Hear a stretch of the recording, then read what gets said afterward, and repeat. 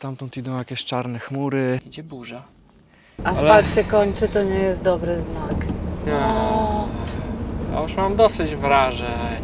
Musieliśmy się zatrzymać na chwilę, no bo po prostu tak nam zaczęło śmierdzieć z hamulcy. Czeski w czekoladzie. Syrenę wyją? No. Hej, jesteśmy Paweł i Monika. Podróżujemy własnoręcznie zbudowanym kamperem, w którym mieszkamy na stałe. Naszą obecną podróż ruszyliśmy z Anglii przez Francję, Hiszpanię do Maroka. Dołącz do tej afrykańskiej przygody. Subskrybuj nasz kanał.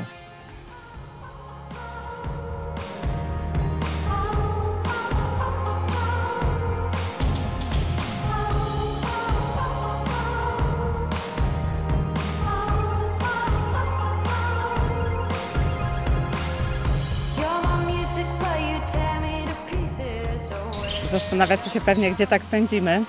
Słychać już szum wody, I to nie jest Kambodża, niech was nie zmylą te bambusy tutaj naokoło. ale jest zielono, jest cudownie i będzie dużo, dużo wody, bo jesteśmy niedaleko wodospadów Uzut.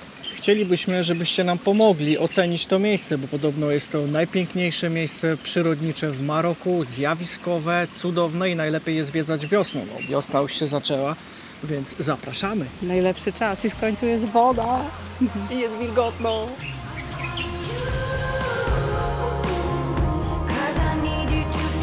No i jesteśmy. Piękne! Piękne wodospady. Nie, to oczywiście żart. Te, do których idziemy są dużo, dużo większe.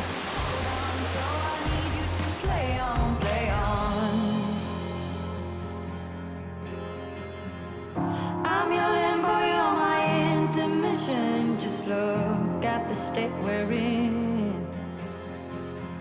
I breathe you in and I can tell where I end and you begin. Piękny szlak, którym właśnie idziemy, w gaju takich starych bardzo drzew oliwkowych. Ta okolica słynie właśnie z hodowli oliwek. Widzę też drzewka figowe. No Tak, ale mijaliśmy mnóstwo pól. Ale te są bardzo stare. I pachnie miętą. Monika czuje miętę, ja czuję zupełnie coś innego. Bardziej mi się to kojarzy z My Hero Cause my heart is on hold on, hold on. So I need you to play on, play on. Szlak na dół pod te wodospady jest niesamowity. Cały czas słychać szum wody. Bardzo relaksujący. W ogóle nic nie wieje, jest cisza i spokój. Brakuje mi tylko trochę śpiewu ptaków, ale tylko trochę. Słyszycie to? Kochani, dżungla nas wzywa. Nie może zabraknąć na szlaku również e, akcentu handlowców. Przecież klimat Maroka nie może się bez tego obejść. Nie wiem, Monika mi gdzieś zginęła.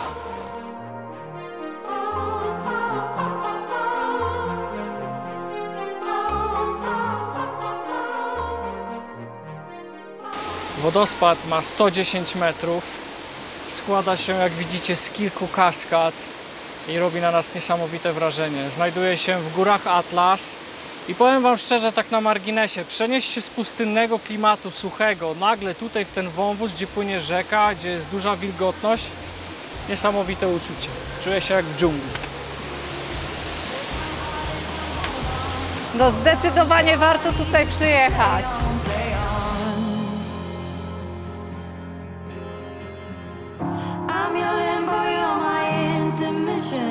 Look at the state we're in. I breathe you in and I can tell No i muszę Wam powiedzieć, że jest to najpiękniejszy szlak, jakim kiedykolwiek szedłem, jeżeli chodzi o szlaki z widokiem na wodę, strumienie, kaskady i wodospady. Niesamowite.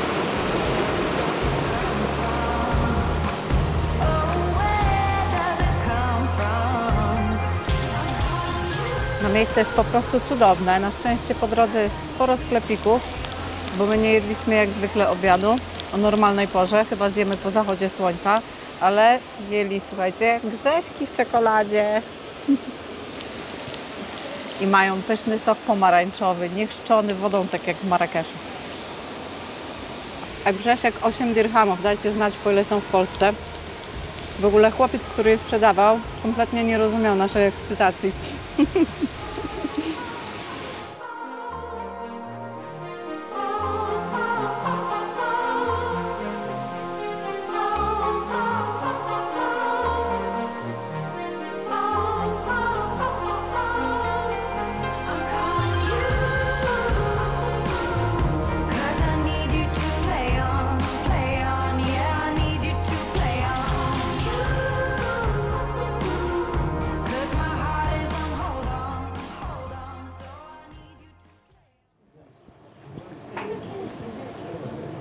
i wreszcie upragniony posiłek. Dotarliśmy tutaj. Jak szliśmy, to było mnóstwo restauracji, ale były dosyć drogie i puste. A tutaj jest bardzo dużo lokalsów. Nie możemy tak za bardzo nagrywać, bo jest dużo kobiet pozasłanianych mocno, więc y, mogą sobie nie życzyć. Mamy wspaniały tarzin z kurczakiem, z rodzynkami, z cebulką, pomidorami, y, harira, tutaj jest jakiś biały serek, oliwki, no i marokańska sałatka. Ale tarzyn jest przepyszny. Dobrze, że poszliśmy trochę dalej. No cudowny wczoraj wieczór, słuchajcie, no tak się zrelaksowaliśmy nad tym wodospadem, że no polecamy to miejsce absolutnie każdemu, kto tu będzie w okolicy. I właśnie tą miejscówkę, na której teraz jesteśmy, koordynaty oczywiście jak zwykle dajemy. E, Bo jest stąd 5 minut, no dobra, 10 minut w dół schodami do szlaku i idzie się po prostu fajnie już wzdłuż, wzdłuż rzeki i wzdłuż tego wodospadu. No i chcieliśmy dzisiaj znowu przejść się tym szlakiem, bo jest tam w sumie jeszcze jeden. Y, No można tutaj sobie pochodzić, jest super, ale trochę pogoda nam nie dopisała. No niestety zaczyna coś tam kropić z nieba i Mm. będziemy ruszali dalej w stronę miasta Benimol. Mamy podejrzewam jakieś półtorej godziny e, do tego miasteczka na północ.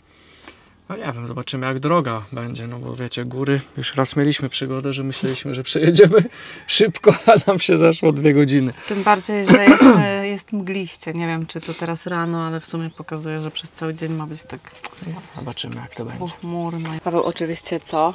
Dzie- dżemik wiśniowy. Ale Na łowicza. szczęście, na szczęście można go kupić tutaj w Maroku. Także tym jesteśmy zaskoczeni ilością właśnie y, polskich produktów w w tutejszych y, sklepach, marketach. No, Te bo grześki to była petarda wczoraj. A grześki właśnie w małym sklepiku. No, także ogarniamy wana. I zmywanie, czyli coś, czego ja najbardziej nie lubię. Filmek już się dla Was tutaj ładuje. Korzystamy z okazji, że stoimy przy takim maszcie z nadajnikami, także idzie w miarę spoko, ale jeszcze z półtorej godzinki trzeba poczekać. 48% już jest. To w sumie jeszcze tylko troszkę i będziemy mogli uciekać. No trochę żałuję, że nie możemy tam iść dalej w te górki, żeby sobie tam pochodzić trochę, no ale Słabe widoki by były, niebo jest strasznie zamglone, stamtąd idą jakieś czarne chmury, wszystko wygląda za mgłą, także odpuścimy sobie tym razem chyba ten szlak wzdłuż tej rzeki i wodospadów. No i tutaj z Ouarzazate przejechaliśmy Tizi, Tiszka do Marrakeszu. No i teraz zjechaliśmy tutaj do wodospadów Uzud i będziemy się kierować w tą stronę. No niestety pominęliśmy tutaj cały ten park narodowy, Dolina Aurika, no Tubkal, te wszystkie rzeczy w Atlasie Wysokim. No Ale ale, niestety tam. tak, zabrakło czasu tym razem, ale następnym razem. Tu jest jeszcze jakaś tama i jezioro, więc może jeszcze tu zajedziemy, bo tu mamy bardzo blisko. A jeżeli nie, no to właśnie będziemy tutaj się kierować na Beni Malal, Kenifra, no i pewnie gdzieś tutaj, Fes, Meknes. Jaki jest plan? Ale czasu coraz mniej. Ale może się uda jeszcze coś zwiedzić. I tak, żeby nie było, że ja nie zmywam. Ja zmywam też. Nie tylko, że Monika zmywa.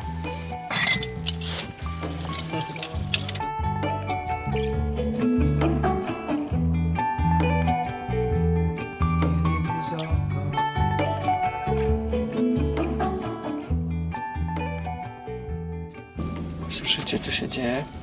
Idzie burza. I rozkminiamy, i rozkminiamy, którędy mamy jechać. Bo chciałem jechać tutaj na dół do Azilal, żeby tutaj pojechać nad to jeziorko, ale tu jest akurat burza tutaj właśnie z tej strony nad tymi miastami, więc pojedziemy tutaj górą przez góry. pojedziemy górą przez góry. No dobrze powiedziałem. Także droga jest troszeczkę węższa, może trochę gorsza, ale mam nadzieję, że nam się asfalt nie skończy. Trzymajcie kciuki. Miniemy się czy się nie miniemy? No nie za ciekawie to tam wygląda, powiem wam szczerze, ale dlatego tam nie chcę jechać. Straszne chmury. No i grzmie, więc raczej jest tam dużo.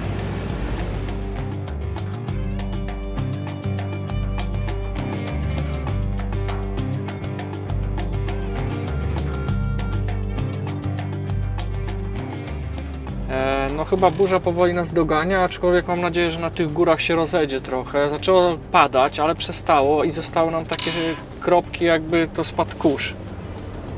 Pada No i- kurz. Asfalt się troszeczkę, jak widzicie, tutaj zmienia. Asfalt się kończy, to nie jest dobry znak. Mam nadzieję, że to tylko przez chwilę. Nie, ja już mam dosyć wrażeń. Wiem, a nie no, do 10 ton jest, no ciapek chyba tyle nie waży, nie? oh my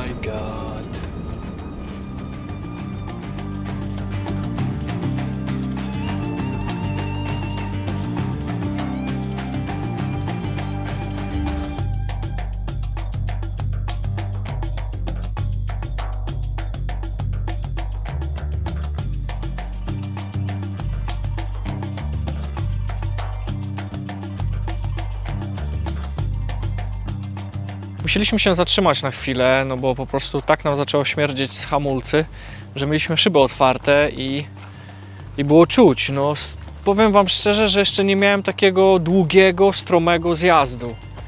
Tak, E, najpierw był stromy podjazd, a teraz stromy tak. zjazd i Jedziemy już dobre takie 10 serpentyny. minut, nawet nie, dłużej nawet niż 10 minut. I cały czas jest tak stromy zjazd, że jadę na dwójce, hamuję silnikiem i on cały czas tak mi się rozpędza, że no musiałem się zatrzymać teraz. No. jeszcze co chwilę po takim stromym odcinku jest zakręt taki. O No 90 taka w ogóle sceneria się tak zmieniła, że ja nie poznaję Maroka. Na szczęście, tak jak się spodziewałem, burza rozeszła się po tych e, wysokich partiach górskich. Także na szczęście nas dopadł tylko deszcz, ale już nie było błyskawic ani jakiegoś tam huraganu. Także o tyle nam się udało e, przejechać. Cieszę się, że, że wybrałem tą drogę, bo nie jest, nie jest źle. Mogłoby być gorzej. A odkrywamy całkiem inne po prostu terytoria Maroka. Jest tu dużo plantacji drzewek oliwnych i drzewek owocowych. No fajnie to wszystko wygląda. I mnóstwo dzieciaków jest, wylatują na drogę i tu mi grupka próbowała zablokować drogę, ale, ale się rozstąpili w ostatniej chwili.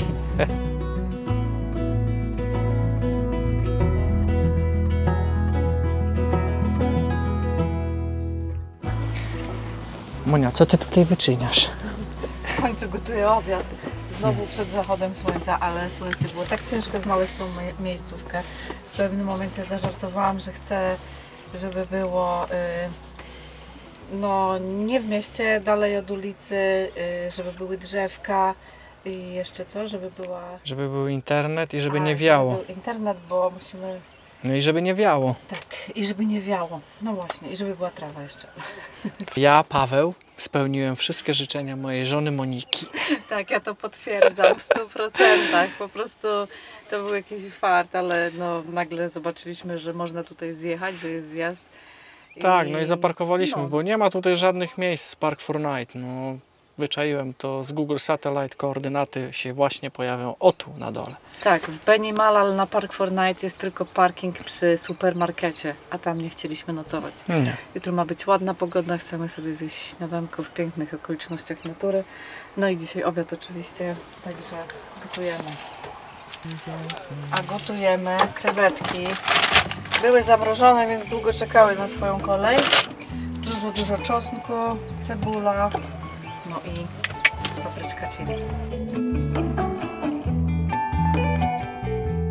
Jadąc pod wodospadów przejeżdżaliśmy przez taką małą wioskę, no i kupiłem taką blaszkę pod naszego tazina, żebyśmy mogli robić na kuchni, no bo to jest niezbędne e, do tego, żeby po prostu to gliniane naczynie nie pękło. E, Kładzie się to na gaz, na to się kładzie tazin i wtedy ta Blaszka chroni przed nadmierną temperaturą. Zapłaci... Oj, oj, oj, oj, oj. Zapłaciłem za to 5 dirhamów, słuchajcie. I pan mi wszystko wytłumaczył, doradził. Tej blaszce mi się podoba to, że jest tutaj taki uchwyt. Będę mógł sobie brać tarzina i na przykład przyjść z nim do Moniki i powiedzieć mam coś dla ciebie. O, kiedy to nastąpi? E, nie wiem jeszcze, Ale pomyślę. ono jest tak ręcznie robione, mi się wydaje. To jest z jakiejś starej blachy. No, recycling od razu tutaj Sakra. jest. No, taka wyrzeźbiona. Syrenę wyjął? No. Nie wiem, coś Co tam tam się stało?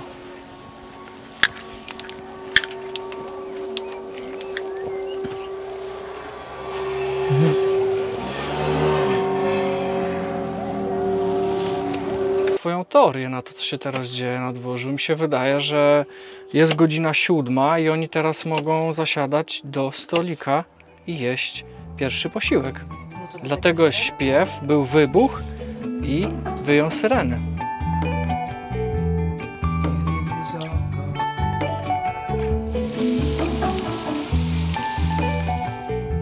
Jeszcze po drodze kupiliśmy sobie świeże zioła, natkę pietruszki i miętę do herbatki. Także pietruszka idzie do sosu, no a mięta do herbatki wiadomo.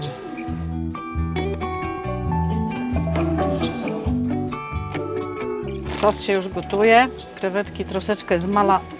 O, krewetki troszeczkę zmalały, Mhm, jak to mrożone krewetki, ale świeżych nie było niestety. Y, A my do tego robimy makaron ryżowy.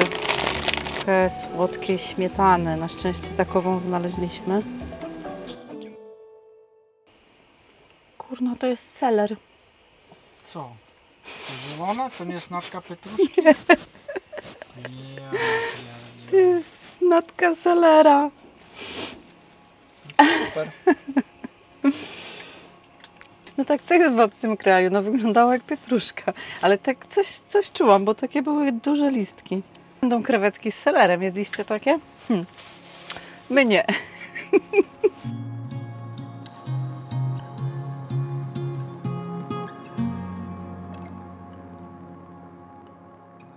Obiadek był przepyszny, szczególnie ta zieleninka selerkowa.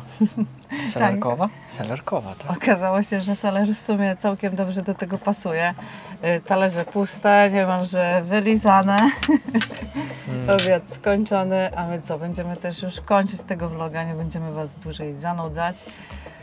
Ale zanim skończymy, to bardzo chcieliśmy podziękować za ostatnie komentarze. Jest nam mega miło, że nas tak wspieracie i no, dodajecie nam energii do dalszego no, działania. całkowicie po prostu.